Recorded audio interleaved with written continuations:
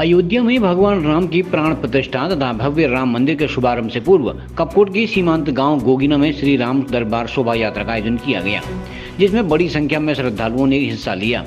गोगिना शिव मंदिर से प्रारंभ हुई श्री राम शोभा यात्रा कई गाँव से होते हुए हनुमान मंदिर श्यामा पहुँची। अगले दिन पिंगलेश्वर शिव मंदिर में भजन कीर्तन के साथ समापन किया गया। ग्रामीणों ने भगवान राम सीता मैया तथा लक्ष्मण हनुमान का किरदार निभाते हुए शोभा यात्रा में हिस्सा लिया। शोभा यात्रा के आयोजक समाज सेवी भूपेंद्र कोरंगा ने कहा कि अयोध्या में राम मंदिर का निर्माण देश के लिए सौभाग्य तथा गर्व का विषय है। आयोजन में डिगर सिंह कोरंगा, लक्ष्मण सिंह कोरंगा, धीरज कोरंगा, दीपक कोरंगा आदि ने महत्वपूर्ण भूमिका अदा की।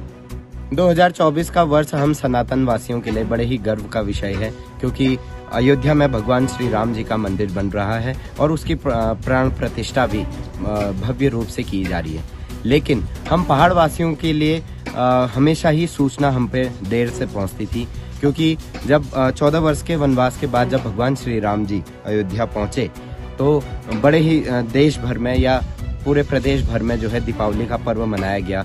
लेकिन हम पहाड़ियों को थोड़ा देर से पता चला तो इसलिए हम लोग बूढ़ी दिवाली के नाम से उसे मनाते लेकिन इस बार हम पूर्व से ही बिल्कुल जश्न के साथ हम इस राम मंदिर शोभा यात्रा को बिल्कुल भव्य ढंग से यहाँ से मना रहे हैं। और इस पर्व को बड़े ही धूमधाम से हम दानपुर के अंतिम गाँव गोगिना से लेकर हम घाटी तक, भनार घाटी तक इस यात्रा को हम भव्य और दिव्य रूप से पहुँचा रहे हैं। अयोध्या में राम मंदिर बनने के उपलक्ष्य में श्री राम दरबार शोभा यात्रा का आयोजन हमने किया, जो कि दो दिन की यात्रा वो रही।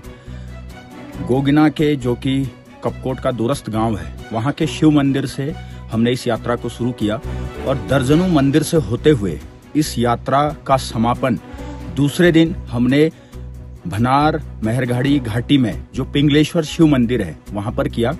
और इस दौरान हज़ारों की संख्या में भक्तों ने श्री राम दरबार के दर्शन किए और उनसे आशीर्वाद लिया और प्रत्येक मंदिरों में एक दिया शोभा यात्रा के माध्यम से हमने अर्पित किया और हनुमान चालीसा का पाठ किया और इस क्षेत्र की खुशहाली और समृद्धि की प्रार्थना करी।